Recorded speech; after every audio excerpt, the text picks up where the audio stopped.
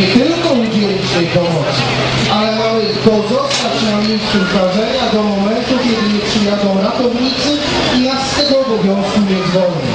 Pamiętajmy o tym, ale nie pamiętajmy dlatego, że prawo tak mówi, ale pamiętajmy, że to my możemy któregoś dnia tej pomocy potrzebować. Jeżeli nikt nie znajdzie się, kto będzie nam chciał pomóc, nasze marzenia, nasza przyszłość będzie nijak. Wszystkiego dobrego.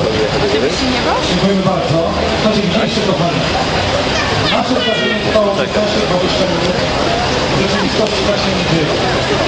Zachęcamy do udzielania pierwszej pomocy. Dziękujemy e, kolegom ze Straży Pożarnej. Obiecali, że jeżeli ktoś będzie miał życzenie zobaczyć, dotknąć sprzęt, to będą tutaj